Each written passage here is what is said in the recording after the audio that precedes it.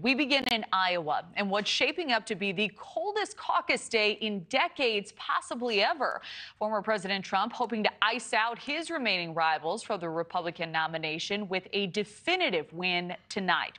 Nikki Haley trying to keep her momentum going despite the weather, hoping her candidacy catches fire heading into next week's New Hampshire primary.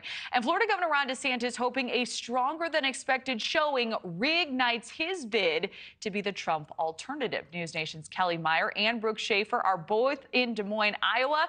So, Kellie, despite Trump's large lead in the polls, his campaign making it clear he doesn't want their supporters to take a win now for granted.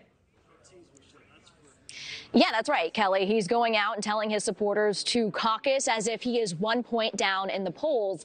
And this is where former President Trump will be tonight in another ballroom when he learns his fate in this Iowa caucus. He is going to be heading out there today, and he returned here to the Hawkeye State this weekend after canceling three out of four of those in-person events. He moved those to tele-rallies, and he held this impromptu town hall on Saturday night, and then his last pre-caucus rally on Sunday, where we were talking with supporters. One dug out of thigh deep snow to make sure that she got there. But one thing that Trump has going for him this time is his ground game. That changed since 2016, and we witnessed that over the last several months following him on the campaign trail, going to these school gyms or uh, also restaurants that he was at, uh, talking with voters one on one. And he told our campaign reporter, Libbey Dean, that he thinks that's going to make all the difference. Take a listen.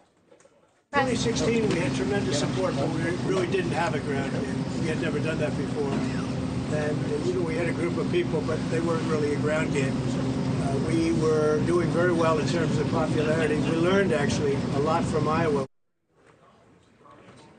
Now, his supporters told me that they will go out and caucus for him tonight despite the weather conditions. But as one Iowan told me, this caucus is full of surprises. Thank you for watching. Go to newsnationnow.com to find News Nation on your television provider. And don't forget to click the red subscribe button below to get more of News Nation's fact driven, unbiased coverage.